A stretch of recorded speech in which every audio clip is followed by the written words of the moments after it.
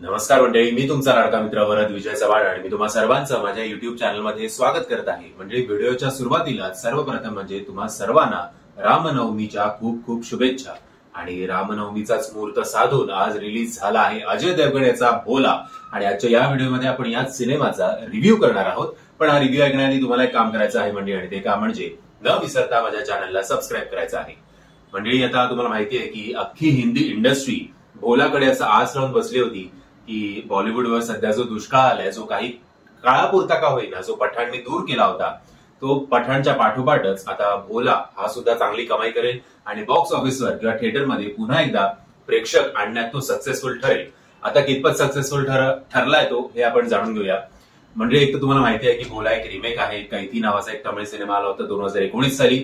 I think फक्त पंधरा वीस कोटी का तीस कोटींचा तो सिनेमाचं बजेट होतं. आय थिंक पंधरा वीस कोटीच होतं. आणि पंधरा वीस कोटी बजेट असून सुद्धा त्या सिनेमाने कमवले होते दोनशे का अडीचशे कोटी. सो याच्यावरनच त्या सिनेमाची ताकद केवढी असेल त्याचा स्क्रीन प्ले केवढा स्ट्रॉंग असेल याचा अंदाज तुम्ही लावू शकता. आणि याचा एक प्लस पॉईंट म्हणजे कैती जो आहे तो युट्यूबवर हिंदी डबिंगमध्ये अवेलेबल आहे. आता दृश्यम टू नी अजय देवगणनी याआधीच एक रिमेक केला होता मल्याळम सिनेमाचा दृश्यम टू. त्याचा हिंदी व्हर्जन कुठेही अवेलेबल नव्हतं. त्यामुळे त्याचा फायदा जो आहे तो हिंदी ऑडियन्स कडनं या सिनेमाला दृश्यम टू या सिनेमाला नक्कीच झाला. वर्ल्ड वाईड त्यांनी कमवले साडेतीनशे कोटी रुपये. बट आता ही जादू पुन्हा एकदा अजय देवगण बॉक्स ऑफिसवर दाखवू शकेल का?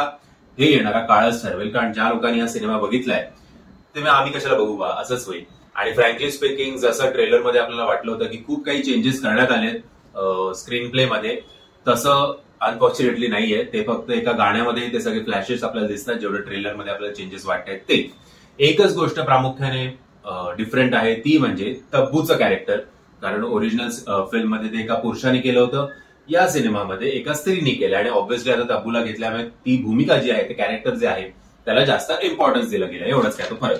अख्ख्या सिनेमामध्ये आपल्याला माहिती आहे की त्या अजय देवगणचंच नाव आहे भोला पण त्या अख्ख्या सिनेमामध्ये आपल्याला कुठेही ऐकायला मिळत नाही. पण जेव्हा आपल्याला ते नाव ऐकायला मिळतं तेव्हा त्या फ्रेममध्ये प्रेझेंट असणारे सगळे कॅरेक्टर्स असे हादरून जातात. आणि त्याचबरोबर ऑडियन्स सुद्धा स्वतःच्या सीटवर येते आणि शिट्या मारू लागते टाळ्या मारू लागते. आणि तेव्हा आपल्याला रिअलाइज होतं की अख्ख्या सिनेमामध्ये आपण याचं नावच ऐकलं नाही सो तुम्हाला जसं कैदीमध्ये होतं तसंच एक जेलमधनं निघालेला कैदी आहे त्याच्या मुलीला त्याला भेटायचं आहे. काही आजारी पडलेले पोलीस आहेत पोलीस कर्मी आहेत. त्या पोलिसांना कैदीला कैदीला काय बोलतो मी? भोलाला हॉस्पिटलमध्ये सोडायचंय. आता हॉस्पिटलमध्ये सोडायच्या आधी एक माफिया गँग आहे जी दहा करोड रक्कम या गँग मेंबर्सना घोषित करते जे कोण भोलाला पकडून आणतील आणि या पोलिसांना हॉस्पिटलमध्ये पोहोचू देणार नाही. याच्या भोवतीच अख्खी ही गोष्ट घडत असते. आणि एक पोलीस स्टेशन आहे. त्या पोलीस स्टेशनला सुद्धा काही लोकांनी घेरलेलं आहे. आता या सिनेमामध्ये जर तुम्ही बघाल की दीपक डोबरियाल आपल्याला पहिल्यांदा एका निगेटिव्ह भूमिकेत दिसत आहेत जे विनित विनित कुमार असेल दीपक डोबरियाल असेल किंवा गजराज राव असतील सगळ्यांचे क्लोज शॉट घेण्यात आले आणि ते इतके क्लोज शॉट आहेत की त्याच्यामुळे एका ऍक्टरचं खरंच परीक्षा घेतली जाते असं म्हणाला काही हरकत नाही. कारण तिकडे तुम्हाला फक्त इकडून ते इथपर्यंत जो काही तुमचा अभिनय आहे जो काही तुमचे एक्सप्रेशन आहेत ते ऑडियन्स पर्यंत पोहोचवायचे असतात आणि या सिनेमामध्ये प्रत्येक कलाकार तेवढा ताकदीचा आहे की जे त्यांना फील होत आहे जे त्यांना आपल्यापर्यंत पोहोचवायचं आहे ते पोहोचवण्यात ते सक्सेसफुल होतात आणि अजय देगणचं एक वेगळं डिरेक्शन क्लोज शॉटच्या निमित्ताने आपल्याला बघायला मिळतं. या सिनेमामध्ये छोटूस छोटू जरी कॅरेक्टर असलं तरी अजय देवगण इतक्या कारण तोच डिरेक्टर आहे. इतक्या इंटेलिजंटली त्यांना आपल्यासमोर पोर्ट्रे करतो आणि इतक्या कमी वेळात त्या कॅरेक्टरायझेशनचं एस्टॅब्लिशमेंट होते आपल्यासमोर की या बाबतीत खरंच अजय देवगडचं कौतुक करायला हवं. इनफॅक्ट मॅक्सिमम स्क्रीन टाइम जो आहे तो अजय देवगडचा असून सुद्धा या सिनेमातले छोटेसे छोटे कॅरेक्टर सुद्धा आपल्या लक्षात राहतात का? कारण ज्या प्रकारे अजय देवगडनी त्यांना हा सिनेमा डिरेक्ट केलाय त्यामुळे. या सिनेमामध्ये जसं मी तुम्हाला ट्रेलर रिव्ह्यूच्या वेळेला सुद्धा बोललो होतो की ओव्हर हाईट ऍक्शन सिक्वेन्स आहेत फ्रँकली अशा टाईपच्या ऍक्शन सिक्वेन्सचा मी चाहता नाहीये. मला आधीची जी डिशुम डिशुम वालीच होती तीच आवडते पण हल्ली मास ऑडियन्सला कदाचित असे हाय फायंग इकडे उडतायत तिकडे उडतायत दहा लोक तिकडे पलीकडे जात आहेत अशा प्रकारचे सिनेमे बघायला अशा प्रकारचे ऍक्शन सीन्स बघायला आवडतात. जर तुम्ही तशा ऍक्शन सीन्सचे चाहते असाल तर नक्कीच तुम्हाला हा सिनेमा आवडेल कारण ऍक्शन सीन्स जे आहेत ते अशाच प्रकारे कोरिओग्राफ केले आहेत देवगण कधी कुठून मला एकदा वाटलं होतं ट्रक मधनं बाईकवर बाईक मधनं गाडीत गाडीतनं आपल्या बाजूला येऊन बसेल की काय? कारण मी थ्री मध्ये बघितला सिनेमा. बट अशी अतिशयोक्ती जर ऍक्शन सिक्वेन्स तुम्ही चाहते असाल तर नक्कीच तुम्हाला हा सिनेमा आवडेल. फ्रँकली ऍक्शन सीनच्या बाबतीत ओके ओके असं मला म्हणायला लागलं. अजून एक आहे याचा सिक्वेल सुद्धा येऊ शकतो. आता सिक्वेल हे लोक कैतीसाठी थांबतील की स्वतःच काहीतरी डोकं लावून करतील? हे आता येणारा काळच ठरवेल कारण सिनेमाच्या एंडला आपल्याला एक मोठा स्टार हिंदी सिनेमातला बघायला मिळतो आणि तिकडे हा सिनेमा संपतो. सो ऑब्विस आहे की याचा एक सिक्वल सुद्धा येणार आहे. तब्बू एक स्ट्रिक्ट पोलीस ऑफिसर असली तरी जेव्हा काही पर्सनल गोष्टी येतात तेव्हा तिच्या डोळ्यात आपसूक पाणी येतं.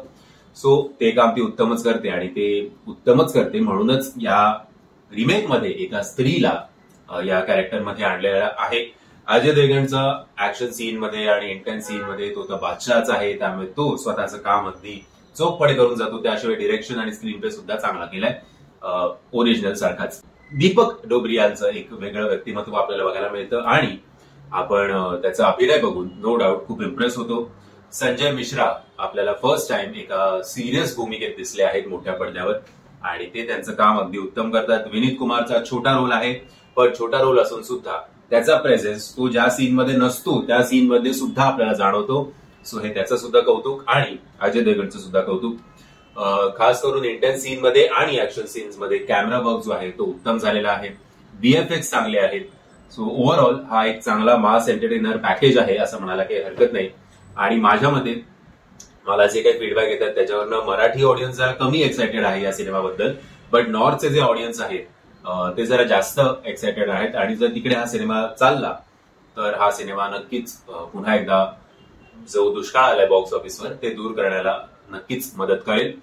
ऍक्च्युली खरं तीन स्टार द्यायला या सिनेमाला हरकत नाही बट मी जसं म्हटलं की ओव्हर द टॉप ऍक्शन आहे. त्यामुळे मला ते जरा पटत नाही. पण एक अर्धा स्टार मी त्याच्यासाठी कमी करेन. या सिनेमाला मी देतो अडीच स्टार नाहीतर मला एका गोष्टीची खात्री आहे की मास ऑडियन्सला हा सिनेमा प्रचंड आवडेल. आणि भरपूर ऍक्शन आहे.